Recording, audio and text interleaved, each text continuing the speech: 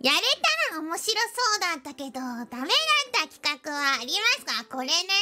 あれだよね、ペコーラがやりたいって言って、運営さんから弾かれた企画ってことペコだよね。あ、これね、何個かあるペコだけど、そっか、企画か。企画は多分みんなが知ってる、まず伊勢エビでしょ？で、これこの前もさ、話したんだけど、あの、ホロライブ虫キングダム大会？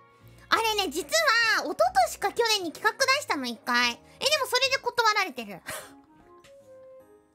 いや、なんか、ちょっと、あれ的にはね、ダメだったの。あと、なんか、リスナーさんに、なんか、マイクラのサーバーをさ、ペコーラが提供して、なんか、リスナー参加型、1年かけてペコランドというか、もうみんなが好きなように、な建築したりとか、ペコランドを建築するみたいなは断られたことあるかなあとやっぱりなんだろう、まあ、当たり前にちょっと、あの あちょっと危なそうな企画とかは、まあ、あの、ダメですよね、とは言われたかな。でもそんなに実はペコーラ、企画断られたことはそんなない。本当にそれぐらいかも。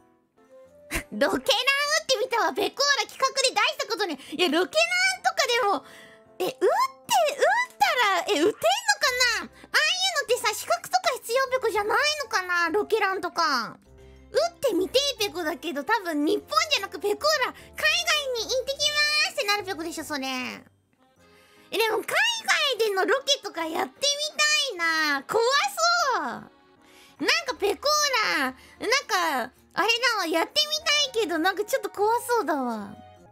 え、ねえ。ありだな。な、今度なんか海外、海とかねえのかな？海外ロケとか。ぜひね、運営さん、えっ、ー、と、海外ロケがございましたら、うさだペコーナーまでよろしくお願いします。あ、あとね、なんだっけな？あと、あれもあったペコだわ。なんか、どっかからさ、ガチの小学生みたいな人をね、あの、と、なんか、フォートナイトとかする企画とかはやりたいなと思ってるけど、ガチのキッズが出会いないから、できてない。どなたか我が子いいですよって方いますか？我が、我が息子、我が娘、どうぞ小学生ぐらいで、うーん、なんかちょっと小生意気な子募集です。だそういうのをやってみたいな。